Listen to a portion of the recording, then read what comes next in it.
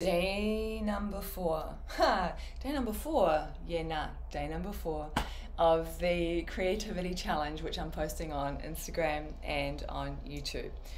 I'm reading from my memoir today Sex, Drugs, and Mostly Yoga Field Notes from a Kundalini Awakening. And I just randomly opened to this page and this feels really this is this is hard this is vulnerable for me this is exposing um, when i first published this book i was absolutely terrified when I published it, and I didn't really do that much promotion because it was just too emotionally challenging to lean into. And five years later, I'm starting to do a little bit of promotion. Um, yeah, so here we go. this is page 93, and the chapter is called I'm a One Man Woman. Whistler, 2004. Let's go back to Vancouver in September 2004, the acute psych ward of Lionsgate Hospital. There I am, in a single bed, beside the doorway leading into the corridor of the ward. There are three other beds in that room with me. I feel her now, that woman, me, waking up for the second time in a psych ward. The first time had been a month earlier, right? So it's a month after that. Only this time, she's not waking up from a bad acid trip with her fiance sitting anxiously beside her. She's waking up alone and remembering that he's left her, that there were no drugs to blame, and that she's all alone. I can feel myself then, that moment of coming to and everything flooding back into my mind and into my heart, into consciousness. I was emotionally distraught, but trapped because there was no way I could allow myself to be vulnerable in front of strangers. This was one of my deepest unconscious fears. I was scared, terrified to be vulnerable. And so I was caught between my need to feel and my fear of feeling. So I couldn't cry. I couldn't allow all the emotion in my heart to be felt, to move as I desperately needed it to. And this time, I couldn't blame the drugs. The only drug I'd ingested in the previous four weeks was the medication I'd been given the first time around. And that terrified me if I could lose my mind and it wasn't because of the acid or the mushrooms or the weed, what was it from? What had triggered it this time? Emotional upheaval, being dumped by my fiance. Life. Just fucking life. And if life could trigger psychosis in me so easily, did that mean that there was something seriously wrong with me? Was I mentally ill? Was I bipolar? Was I fucked up? Maybe there had been no awakening after all. Terrifying. Then, that woman I was in the psych ward that second time was also so unaware and unconscious of what was going on in her emotional landscape. Only her behaviors and the train wreck that she'd made of her life had the ability to reveal the truth. Now, I'm highly attuned and aware of every tiny internal shift, thanks to relentless self observation, born of a desire to wake up, fueled by a fear of going crazy again. Because I never did go crazy again, not once in the last 13 years. 20 years now. Those were the only two times I experienced psychosis, although they weren't the last times that I experienced trance states similar to the trance states that I entered into during the awakening experiences. In the past two years in particular, remember I'm writing this in 2018, right? So I'm referring to like 2016 to 2018. I've learned how to journey deeper and deeper into trance states in a way that allows me to access and process the deepest darkest corners of the psyche and also to access the collective unconscious. I've found myself in eerily similar situations to my psychosis, only completely anchored, centered, and sane. And if someone was there with me, I'd be able to give a blow by blow description of what I'm experiencing internally, like a scientist observing a science experiment. Case in point, I'm in Auckland, in Newmarket. I'm driving out of a car park to go head back to Laingholm to pick my son up from school. It's an everyday, mundane activity in the life of a single mother. Only I'm hit with a strong wave of Kundalini energy, and suddenly I'm channeling a masculine energy through the right side of my body. It's a strong wave. My right lip curls up, my face changes shape, and I can feel malevolence echo through my body. I know this energy. It's been coming through me since Mr. Toastmasters. So when I wrote the book, when I referenced partners, I gave them a name because I, you know, like I wanted to protect them as much as I could.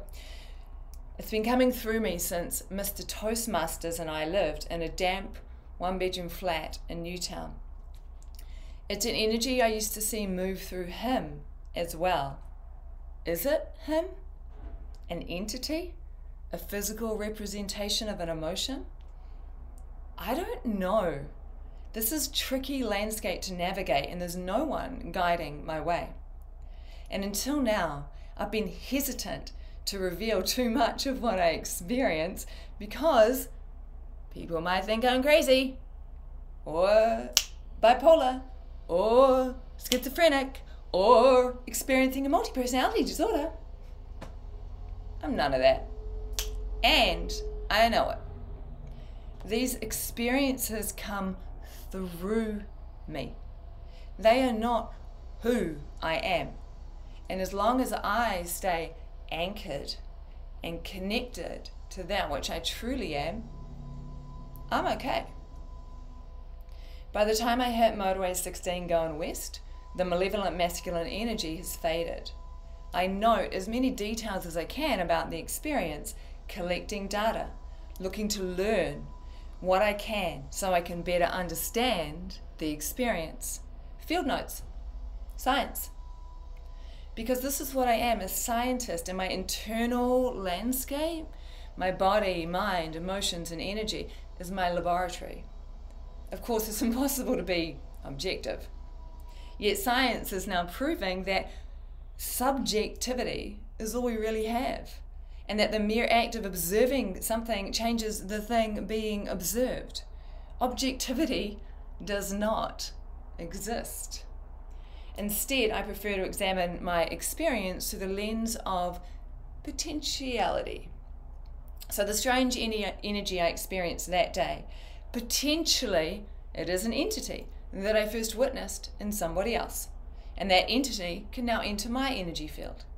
Potentially, it's some kind of energetic hallucination and I'm just making shit up. Potentially, it's not an entity, but the energy of that person who I first saw it in. All potentialities are possible, and I attach to none of them, although I may have a preference for one or two.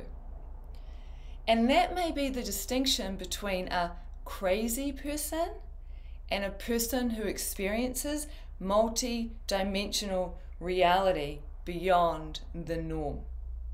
Crazy means believing your own shit and becoming attached to something being true. Navigating the multidimensional nature of life with maturity means being willing to examine everything and attach to nothing. I experience life in a different way from most people. This does not make me mentally ill. This makes me super fucking sensitive, gifted, talented, a seer, a medicine woman, clairsentient, clairvoyant, possibly clairaudient, and I'm definitely claircognizant. Bring on all the clairs. It's frightening at times, though, both the multitudes of energies and realities that I experience and the ways I cycle through intense emotion as I process the past of my experience, the now of my experience, and sometimes even the future of my experience. And yet, I've also become fucking amazing at it. I'm a highly skilled emotional processor. And the skill is what makes me an amazing retreat leader, an amazing facilitator. I'm able to feel what's happening in people's psyches and guide them with a light touch to process their own experiences when their will says, yes, please. At the time of writing, I was still having moments of doubt, big moments of doubt. Moments where I'll have been feeling like absolute shit for days, mired in deep fear, unable to access the root of the distress, and I start to wonder maybe there is something wrong with me. Maybe I do have a medical condition. Maybe I am bipolar. Fuck! But then something will break open. I'll get to the root of the fear. I'll be able to fully feel it and release the insight that deep fears always contain. And I'll break through and up into the light again, more whole, more integrated, and more wise. Made it. After a while, thanks to my relentless self observation, I begin to pay close attention to those doubt fueled fears. Maybe there is something wrong with me. Maybe I do have a medical condition. Maybe I am bipolar. And I notice by paying close attention that these thoughts invariably precede a big breakthrough by about mm, 24 hours. Now, when those thoughts float through my mind, instead of believing the thoughts or even wondering if they might be true, I feel excited because I know I've almost made it through this particular emotional process. And just 24 hours out from a big breakthrough. Stay the course, almost home again. Now that's progress. Hmm. And what's really interesting, because like I said, I wrote that in 2017, 2018, and it's very like I it doesn't take days anymore. Like when the whatever the shitty, shitty, shitty feelings start to come up now, the ability to just choose to go right in and feel them fully. One, there's a sense of wonder and awe and sweetness. Two, it only takes generally a couple of hours, if that. And three, those particular thoughts, the fears, right, the doubt fueled fears, they haven't come up for years, right? And so that's the progression that's the progression that I notice. And this is what is so interesting about having written this in 2018 is in so many ways it's a snapshot in time of how I was perceiving and framing and working with my life and those experiences, you know, that I'd had. And I know like if I was to write and it's quite possible that I will, if I was to write another memoir as such, it would be so different, have such a different vibe and feel because I'm so different again now, you know, five or six years later. And that this is the nature of work is that when we are doing the deep, deep work and integrating all of the things, how we show up, even how we look, shifts and changes. You know, if you go back and you look at videos of me from, you know, 10 years ago, whatever, five years ago, there's a lot of variance. There's a lot of variance, and it depends so much on where I am in the internal landscape and the types of energies that are coming through me. So, as a creative, and this is what this creative challenge is about for me. Like, for so long, my identity as such was really wrapped up in spirituality and awakening because that's the path I was walking from for my own, you know, health and well being, but also I was teaching that but creativity has always been a huge thing. Like this is the third book I've published. I've written probably six or seven books. I haven't published them all. And now I'm in this phase of really reclaiming creativity and stepping into that. And yeah. If you're interested in getting this book, you can find it online. It's on Amazon, etc. It's on Audible. You can listen to it. It's me reading the book. Um, and I am going to go talk to Book Mountain here in Squamish and see about getting it there. It is at Armchair Books in Whistler. They have a couple of copies left, I do believe. Um, yeah, over and out. Day four, Creativity Challenge. Woohoo! Let's go.